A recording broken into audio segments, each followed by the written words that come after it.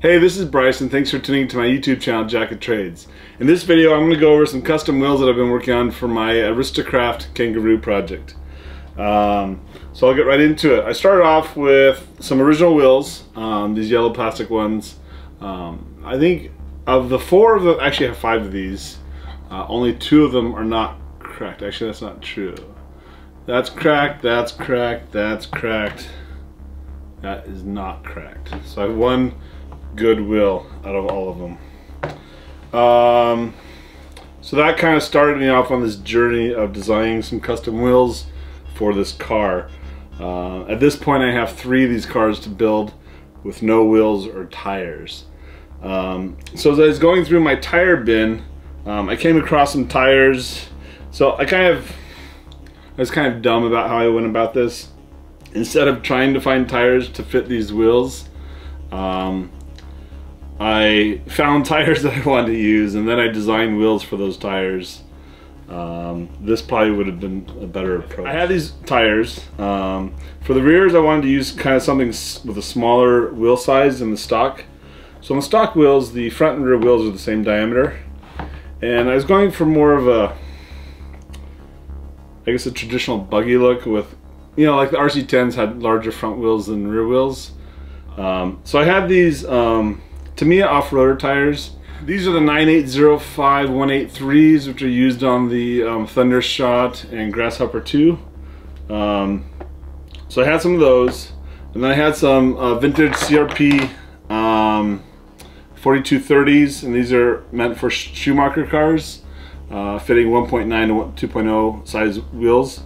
So that's what I wanted to use on the four-wheel drive version of the buggy that I was building. Basically, uh, the Dolphin, the Kangaroo is a two-wheel drive version of the Dolphin, which is the four-wheel drive version of the Kangaroo. That being said, um, these rear wheels are custom diameter. These wheels are actually the stock diameter, but they have a custom offset. Uh, and the reason for that is when I was putting some parts together on the front end of that car, um, just to size things out, um, I realized that the axles I had were going to push the wheels out six millimeters more than stock. So then these have a negative offset of six millimeters to bring them back towards the car so that we weren't um, increasing the track width of the vehicle, at least not noticeably, right? So that's where the design of these wheels, and that's what all these wheels are based on. So all these wheels are kind of the progression of designing and printing wheels that I've been going through over the last couple of weeks. Um, and we'll start on this end with what I started with was the stock wheels. And I came up with a design and I printed out the, the front one first. Um, and this is kind of, there's some funky stuff going on in this wheel that I didn't like, so I immediately abandoned that and I printed out a more conventional set of wheels, which we see here. And these are printed with an FDM printer. Um, so they're okay, they're good runners, but they're not I wouldn't say they're aesthetically appealing, uh, just because you can tell that they're 3D printed and they're kind of, you can see the layers and whatnot. Um, but I printed out a couple of these and, and, a couple more just to kind of thinking that I would run them. And they're perfectly usable as they are.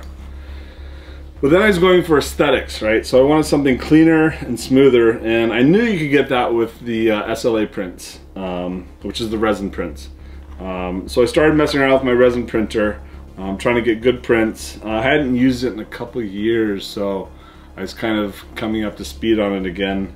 I'm um, trying to figure out the settings to get good prints. Um, and I was using old resin, so I had some of this, this is supposed to be clear resin. Um, and it wasn't printing very good, which is why I made several sets. Well, not several, I have a complete set and some extra fronts. Um, and I kept playing around with that. Then I wanted to get into detailing uh, the wheels, adding little bits of detail. I wanted to see what the limits were of my SLA printer as far as how fine of a detail I could get out of a print with features that might be considered hard where you have tiny features within a well or you know with that resin it kind of wicks into that well and doesn't necessarily want to escape when the part is retracted. Um, and then some letter embossing as well. And obviously you can't see it from here which is why I have some video footage coming after this um, of these wheels under a microscope where we can actually get into the nitty gritty detail and see the the resolution of the uh, LCD that's used as a mask for um, printing these wheels. it, it's kind of interesting. Hopefully, that's that's what I want to take advantage of in this video is is that uh, that footage under the microscope of these wheels. Um, so this is conventional material. The, the, the thing with conventional um, SLA prints is that it's very brittle. It's it's like glass almost. Um, I would say more brittle than acrylic. Um, and actually, what I would like to do is do some testing, um, some stress testing, where I put this under a press, uh, get a load cell on it, and figure out how much um, how much force I can put on it before it fractures, and how much deflection there is before it fractures as well. Um, anywho, I digress. Um, I had some other gray material that I went ahead and printed on. Um, this is standard conventional material as well. Um, and then I started getting into the more uh, robust materials. Um, so this is supposed to be nylon-like uh, material. And by this point, I, in, the, in learning this, uh, the SLA printer, um, I, am starting to get to the point where I can actually resolve um, some pretty good details in these wheels. Um, so again, you won't be able to see it in the camera here, but what I have here is a bolt pattern around the outer diameter of the wheel. Um, and what that feature is, there's a counter bore there. Um, there's a little round over into the counter bore. And then there's a little hex, uh, an extruded hex feature inside the counter bore. And on top of that extruded hex is an extruded boss, circular boss. So it's basically like a, a wheel nut with a, either the, the head of a 12 point or um, the stud sticking through. It wouldn't really be a stud in real world, right? It would probably be uh, like a 12 point bolt with that little um, boss that sticks out on the top sometimes.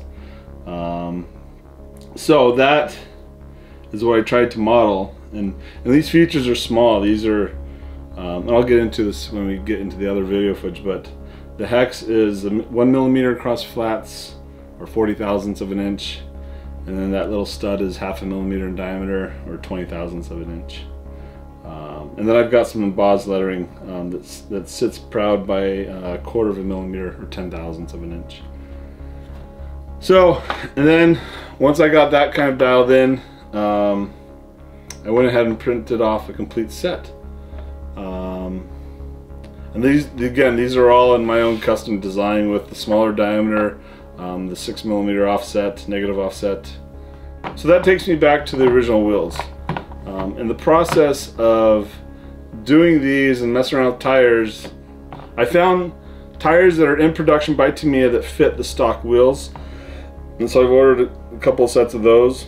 I actually had a set already, which is why this is kind of a dumb decision because I had these tires that fit the original wheels uh, from the get-go and I never bothered to look. Um, so what I'm running here are some super grippers. Um, these are the uh, 9804557 super grippers and these are used on the uh, super hot shot and the VQS. Um, and then for the rears, I'm running the wide spikes. So these are also super grippers, but they're the wide spikes. Um, and that are, these are the 53059s. Um, these are used on the Manta Rays and the Mad Fighters. So these you can still order. Um, they're not too expensive. If you look around, you can get them for 10 to 15 bucks a set. Um, I need to have at least three wheel sets. Um, so I've already got one. I'll have to modify these designs so that we go back to the stock geometry on these wheels. Um, and then I'll go ahead and start printing those out as well. I can't find yellow uh, nylon like resin. Um, it's it's offered in well, it's offered in gray, black, white, clear, green, as far as I could find. So what I might do is just go ahead and do a gray set or a white set and then paint them. I could always use the stock wheels, I just don't like the fact that they're cracked. So I'm to go ahead and use some YouTube magic to get my uh, microscope over here. And there we go, we've got the microscope in front of us. it's funny how that works, right? Um, so this is a great tool to have in your garage if you're getting older like me and your eyeballs don't work the way they used to. Um, it's basically a digital microscope with a nice big screen on it and it has the ability to capture photos and video. Um, so you've got the zoom in and out, it's basically a gear rack on the backside. You take something like this, You throw it up under the microscope, then you got a focus knob here. All right, there we go. So now you can kind of see one of those um, features, which are on the order of a millimeter. Uh, they fill up the screen. They're in pretty good detail. Um, so this is, to me, this is an invaluable tool to have if you're working on really small stuff. Uh, what I wanted to show here, you know, you can zoom out enough where if I wanted to go in and paint those letters, I could under the microscope. It's, it's something that I adopted a while ago, I use it quite a bit just for smaller things. Um, I'll use it on circuit boards um, that I'm having a hard time reading, um, you know, like trying to identify chips and whatnot. Uh, the reason I kind of went off on the deep end on this is because I wanted to add the ability to make custom wheels into my repertoire of what I can do with, with these RC builds. Moving forward in the future of you know this channel and some of the projects I work on, I, would like to really steer towards uh, like ultra custom, uh, kind of out of the box builds, kind of what I did with the Baja, but even more so. So I started off with my kind of go-to technique of using an FDM printer to print the wheels, um, and they're they're they're okay. You know, you could you could definitely run them. Here you can see kind of the build layers, uh, and this is printed in 0.2 millimeter layer thicknesses, um, which is about eight thousandths of an inch in each layer thickness. And then the nozzle diameter is 0.4 millimeters or 16 thousandths. Um, so you can see the infills, you can see the layers, you can see some porosity in the infill. Um, so again, it's, it's an okay runner wheel, but it doesn't have the detail that you, you expect out of like an injection molded part. So that's when I started getting into the SLA printing. I spent quite a bit of time this week trying to refine, and, and one of the things I wanted to go for knowing that I could get the detail and, and trying to push the detail limits of the SLA printer is a beadlock look kind of on the outer um, rim of the wheel. So I, I, put in these counterbores and I put in a little hex feature and I put a stud sticking out of the hex. And we can see that here. Um, it took me a while to get to this where I could actually get some good detail out of the um, the wheel or the so these features just to give you some perspective that hex is um, one millimeter um, flat to flat. And then it's uh, half a millimeter tall, and then the stud sticking out is half a millimeter diameter. You can see there's kind of like material that stuck around because it is liquid. Um, so we got some kind of wicking action that prevented this material from leaving as it, as it re retracted. And actually, this is probably the best feature where you can actually see a hex, whereas a lot of these didn't quite form properly. And that is probably a function of both the material and my settings um, for the print. And that's kind of what I've been refining. Um, so I just want to kind of show, to give an example or some perspective of size, um, here's this is a, a brand new surgical blade that was a number 11 surgical blade that was installed and you can see the tip of it with respect to that feature. So that's a pretty tiny feature right? Um, I can barely see this with my naked eye. My eyes aren't that good to start with. Um, so I can barely see that with a naked eye. And you see little bits of dust. There's it looks like there's a, a metal chip in there. You can see my finger there. So that's a really small feature, and actually, the detail on it's pretty good. Um, this is an older SLA printer. Um, now they've got 4K, 6K, 8K, um, where they can even get tighter resolution. Um, so then I got some new material today.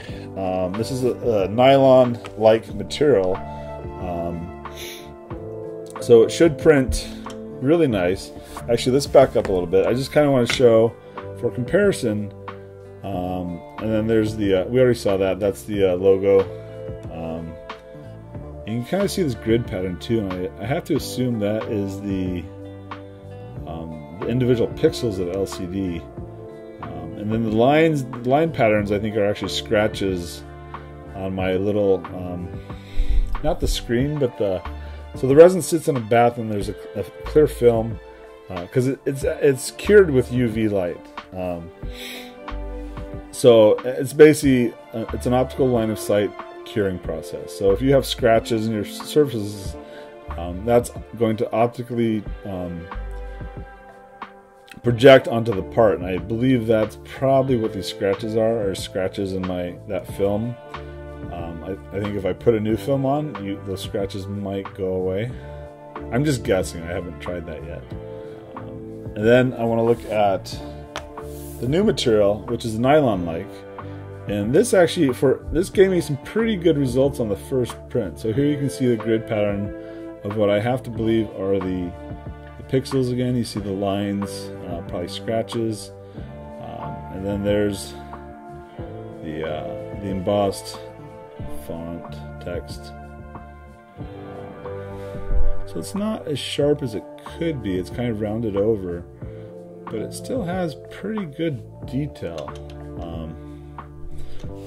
Back out a little bit. And if we go and look at those hexes, um, I think the hexes came out better. Definitely more repeatable um, you still have some wicking action that where the material didn't escape. Um, but in general, these came out better. There's a bad one. So it's like every other one, at least every other one came out good. So I feel like this material printed better. I, you know, first shot, I, it seemed to print really well. Um, I like the material. So here you can kind of see you have an arc that is translated, and you can kind of see the pixelation of that arc. And so yeah, I have to believe that this steps, these steps, or pixelation along here are due to the resolution of my LCD screen. So if I went with higher resolution, these might, you'd probably still see them under a microscope, but they would go away a little bit because you can see one row after another after another. And that's kind of interesting, right? It is almost like a digital form of, well, Yes, you're always limited by the resolution of your equipment. Uh, in this case, that resolution happens to be an LCD screen um, or mask. It's, it's, an LCD screen. This is kind of a stereolithography, stereolithography type process. Uh, it, it's really interesting what you can see under a microscope. Um, so I just wanted to share that. Um, I have another set of wheels coming off the printer soon uh, that will have I've made some small changes. Let's see if it made a difference on uh, those very tiny features. But the purpose of this was, you know, sure, you'll get a cool set of wheels out of it, but it's also helping to understand what you can and can't do with these printers. Um, one of the things I'd like to do is kind of do uh, some stress tests um, on these parts just to see what material is going to hold up better. So, you know, we've got three wheels now. We've got the FDM, we've got the standard material, and we have the nylon-like material.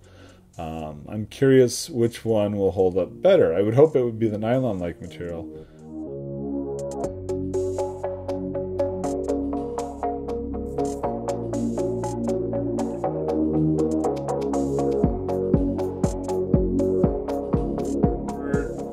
I guess I'll leave it at that. Thank you for tuning in and watching to the end.